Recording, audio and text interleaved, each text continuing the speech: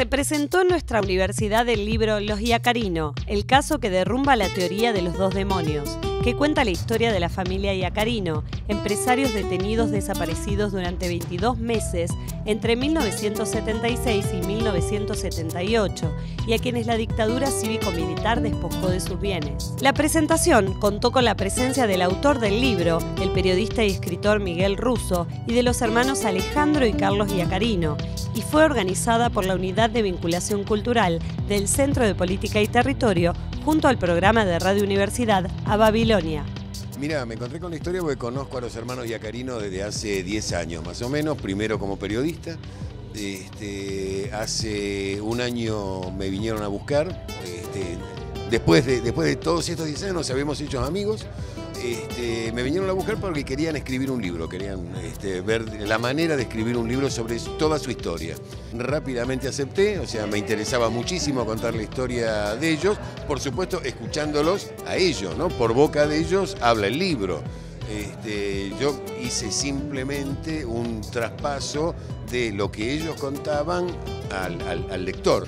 Yo desarrollé un sistema económico a los 17 años la idea era favorecer a la gente más humilde y la gente más humilde estaban severamente castigados en los distintos lugares de las ciudades este, en la cual los precios jugaban según la conveniencia de las multinacionales. ¿Qué hicimos nosotros con ese sistema? Desaparece la intermediación. ¿De qué manera desaparece? Desaparece porque se compra directamente al productor, del productor va al consumidor. Entonces las multinacionales en forma inmediata, cuando nosotros comenzamos a tomar esa dimensión, lo primero que hicieron es ver de qué manera podían borrarnos. Eso nos sirvió para que secuestraran a toda mi familia, a todos, a los cinco, y este, bueno, ahí empezó el calvario de los tres hermanos. Pasamos por nueve centros clandestinos este, y 14 traslados.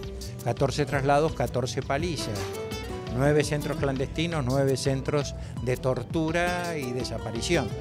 Bueno, el motivo de hacer el libro un poco es porque eh, después de estar 42 años judicializados, eh, hemos visto de que hay una serie de aristas que verdaderamente no se muestran.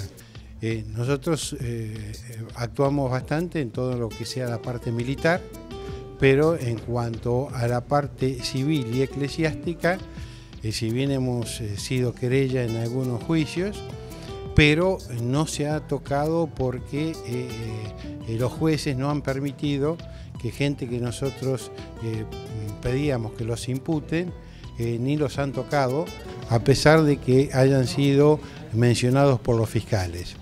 Entonces queríamos dejar sentado en algún lugar, ya que en la justicia no nos han permitido eh, el tema de exponer sobre estos personajes. Y nosotros tenemos la gracia esa de Dios de que podemos eh, homenajear a nuestros padres y hermanos, eh, porque por obra del destino estamos con vida.